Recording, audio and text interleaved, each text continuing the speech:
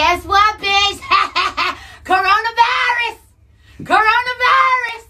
I'm telling you, shit is real! Shit is getting real! Woo!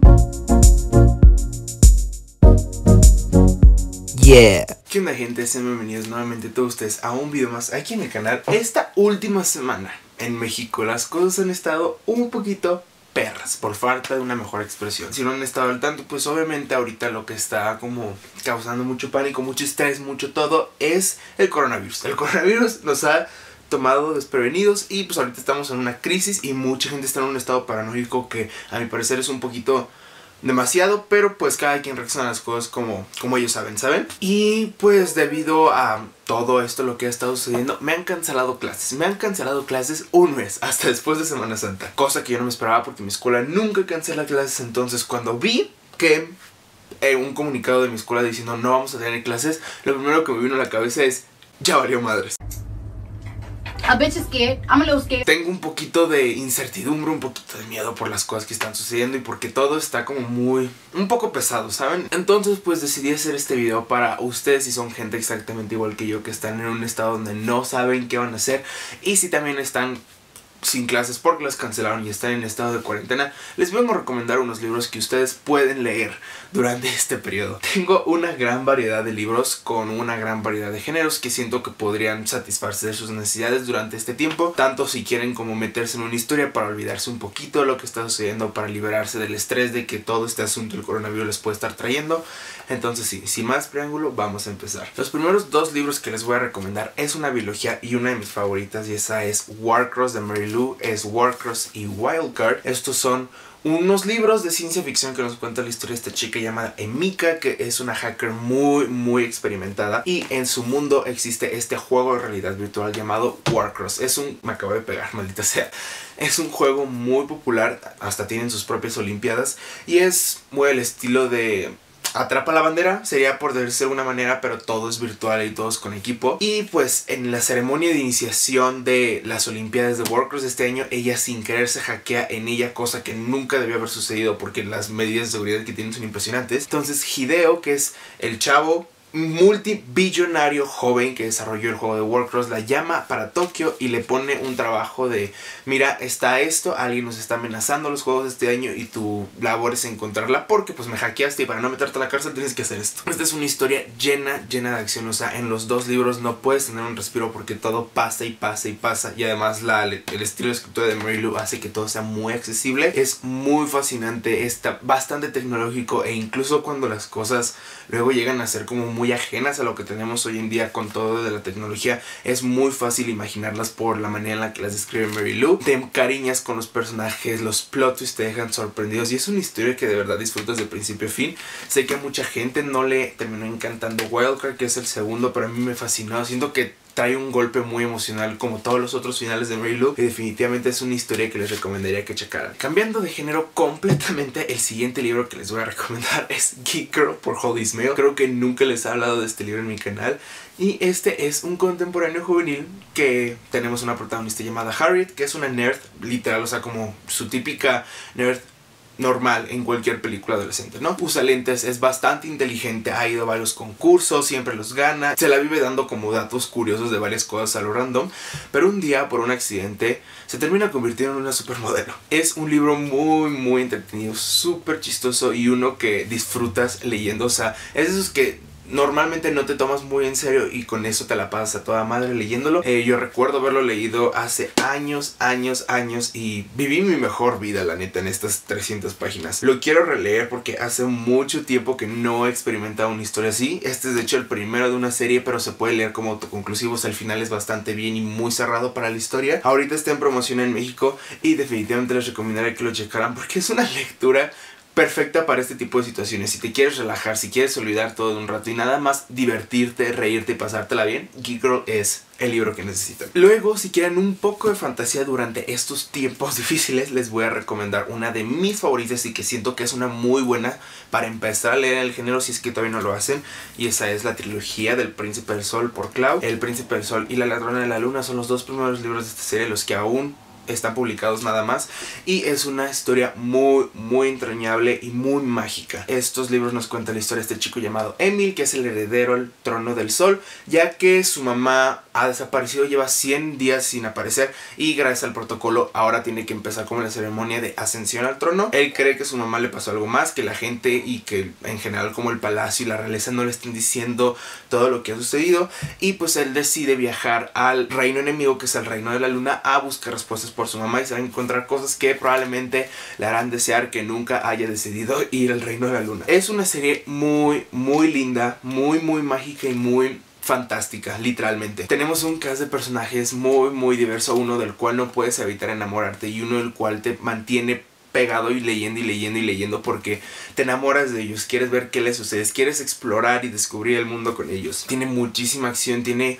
un mundo bastante bien construido, especialmente en este segundo libro. O sea, aquí es muy introductorio todo, pero cuando llegas a la ladrona, todo se expande y todo crece más y se desarrolla de una manera muchísimo más completa, la verdad. Este libro te va a dejar muerto por todo lo que sucede en el segundo y por todas las revelaciones que hay especialmente en la última parte y en general es una historia que es bastante accesible para nuevos lectores en la fantasía, ya que el mundo no es tan complicado al igual que el sistema de magia. Se explican muy bien las reglas, eh, las leyes, como la política del mundo y hace bastante amena la lectura. Entonces también es una de mis recomendaciones y en general deberían leer esta serie porque es muy buena y la disfruto bastante. El siguiente es Otoño en Londres por Andrea Izquierdo. Este es el primer libro en la trilogía de Otoño en Londres y este es el libro indicado para ustedes si necesitan puro drama. Esta nos cuenta la historia de nueve protagonistas, pero principalmente de Lily, esta chica española que su último año de la universidad lo va a tomar en Londres, ya que ciertas circunstancias de su pasado la habían llevado a ese lugar, pero ahorita, gracias a otras que sucedieron, pues ya no es la manera más indicada, pero aún así no quiso desperdiciar el año. Y llegando a Londres va a conocer a muchísimas personas como Ava, Meredith,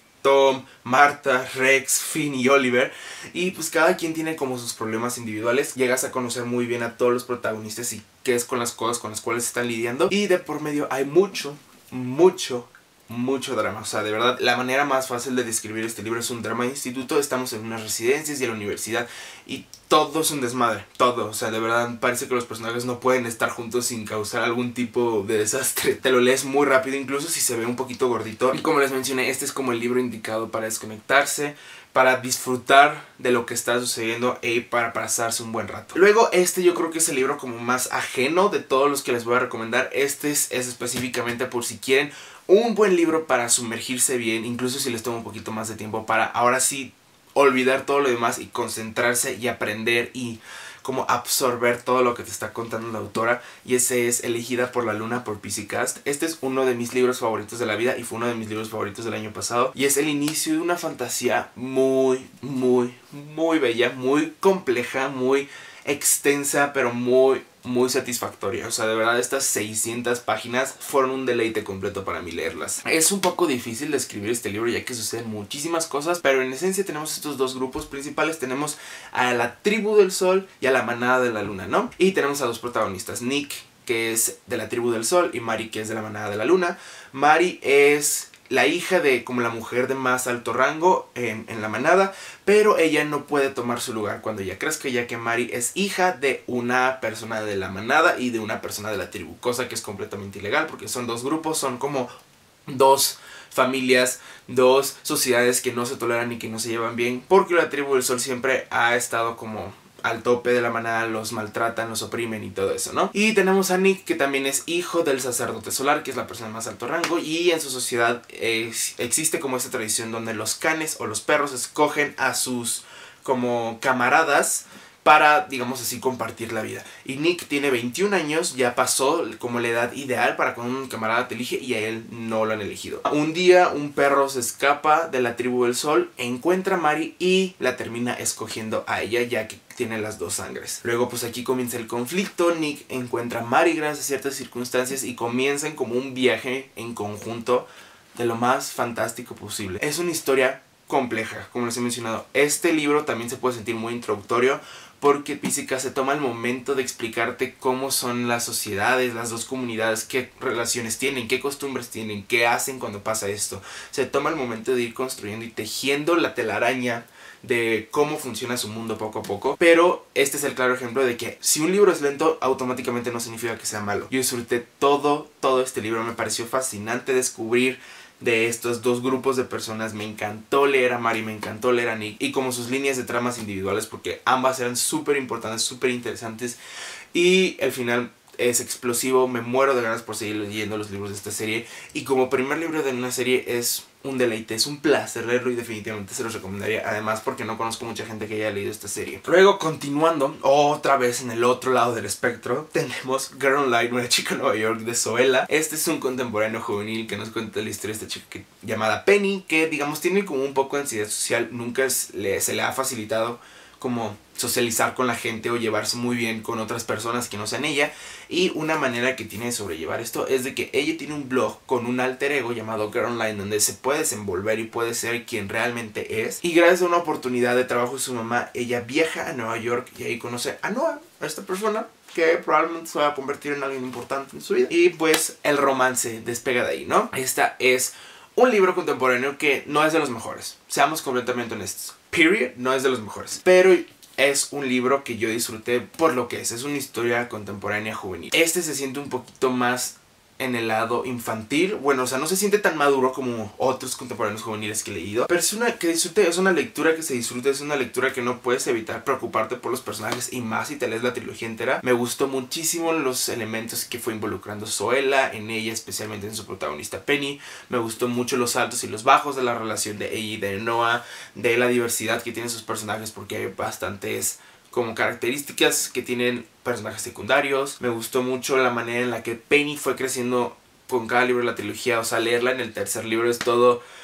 No sé, es como toda una epifanía porque es alguien completamente diferente, es más maduro, más seguro de sí misma y no puedes evitar sentirte orgulloso. Y es un libro que de verdad yo creo que para leer un contemporáneo es bastante bueno. Entonces, obviamente también se los recomiendo. Penúltimo en mi lista tengo una de mis series favoritas que también me urge, necesito y es absolutamente necesario, no quería repetir esa palabra otra vez, que la gente lea, porque es buenísima y es de mis favoritas y se me hace un crimen que no sea muy conocida y es la serie de Sirenas por Amanda Hawking. Tenemos Canción de Mar, Canción de Cuna, Son de Olas y Requiem Abismal. Esta es una serie de cuatro libros que nos cuenta la historia de esta chica llamada Gemma, que tiene una vida bastante normal. Ella vive en una ciudad costera y ella es bastante hábil en la natación. Y un día conoce a estas tres chicas, Pen, Thea y Lexi, y pues estas tres chicas son bastante diferentes a cualquier otra que ella haya conocido. Son muy misteriosas, muy oscuras, bastante llamativas, ¿no? Y pues lo que pasa es que estas huellas son sirenas y terminan convirtiendo a Gemma. Esto pues causa un montón de problemas con Gemma y con Alex, que es su mejor amigo, pero también una persona por la cual tiene varios sentimientos encontrados. Y gracias a su nueva naturaleza pues hay muchísimos problemas. Esta es una serie paranormal de lo excelente. Es excelente gente. O sea, esto es Chefskis. La historia es muy única en el género juvenil. Yo nunca había leído una serie de sirenas como esta. O sea, Amanda Hawking de verdad como logró ingeniar algo que resalte en el género paranormal que es normalmente uno en el cual muchas historias como se mezclan entre sí por los similares que son. Esta no, yo no conozco ninguna otra serie que sea lo más mínimo similar a esta, ¿saben? Especialmente por la manera en la que son Lexi, Pen y Thea. Esos tres personajes son personas que le ponen muchísimo sazón, muchísimo jugo a la historia y que no puedes evitar como preocuparte y pensar qué van a hacer estas huellas después, qué me van a hacer sufrir. Y es impresionante, o sea, de verdad, el cuarto libro es mi favorito, la serie es uno de los mejores finales que he leído. Tiene como ese aire de terror, de, híjole, lo peor todavía no sucede, pero sabemos qué va a pasar. Es buenísima esta serie, eh, tiene un romance muy muy bueno y híjole, o sea, dueles, dueles, te hace sufrir estos cuatro libros por todo lo que tienen y por lo bueno que están escritos y por, en general, como lo dinámica que es la trama. Entonces también vayan a leer esta serie, por favor. O sea, me urge, me urge que más gente lea estos libros. Y por último, tengo esta serie de libros que lo más probable es de que ustedes ya la hayan leído, pero si no lo han hecho, eh, este es el momento indicado para hacer su maratón y esa es la serie de Percy Jackson, gente, escrita por Rick Riordan. Esta es la primera serie de Percy Jackson que pues es la original, la que muchos de nosotros conocemos o que leímos cuando éramos niños, lo más probable. Esa es El ladrón del rayo, El mar de los monstruos, La maldición del titán, La batalla del laberinto y el último héroe. Y el último héroe del Olimpo creo que sí se llama. Esta serie nos cuenta la historia de Percy Jackson, un niño bastante normal que termina descubriendo que es un semidios, hijo de Poseidón, y es mandado a este campamento específicamente para otros semidioses, el campamento mestizo, y en cada libro tiene una misión diferente que tiene que cumplir. Está obviamente inspirado en la mitología griega y es una manera muy, muy entretenida, muy divertida y muy ideal para descubrir el mundo de la mitología griega y para ir aprendiendo. Estos son unos libros. Middle Grade también es como la clara representación del por qué me encanta tanto Middle Grade. Tenemos a protagonistas con los cuales los niños se pueden identificar. O sea, si yo hubiera leído estos libros cuando tenía la edad de Percy Jackson, yo definitivamente hubiera sido como el fan número uno de él y yo hubiera aspirado a ser como él. Solamente que pues yo los terminé leyendo un poquito cuando ya era más grande. Tenemos aventuras, tenemos líneas de trama súper impresionantes, súper divertidas y muy muy entretenidas. No puedes parar de leer ninguno de los cinco. O sea, tiene un talento para engancharte desde la primera página de sus historias. Es, son muy muy divertidos. El humor que tiene Percy, la manera en la que luego tienen las discusiones él y Annabeth con, o con los otros chicos del campamento. Increíble, es increíble y definitivamente es creo una serie que todo el mundo debería leer. Y eso gente sería todo por mis recomendaciones de libros que pueden leer cuando estén en cuarentena gracias al mendigo coronavirus. Cuéntenme acá abajo en los comentarios cuál sería una recomendación que ustedes harían para alguien que necesita escaparse un momento, necesita relajarse y necesita meterse completamente en un libro. La canción que les voy a recomendar el día de hoy es una que salió hace como dos semanas y es mi trauma del momento. De verdad estoy disfrutando muchísimo la canción cada vez que la escucho y la verdad yo no esperaba, específicamente porque no me quedé muy bien la chava que la canta, pero ese es I Love Me de Demi Lovato.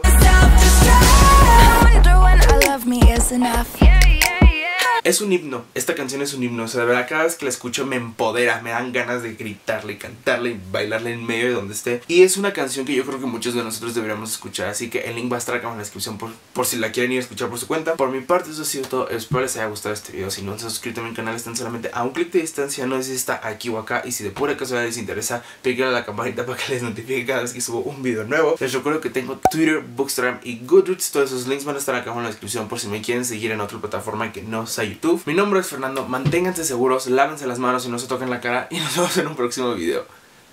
Bye.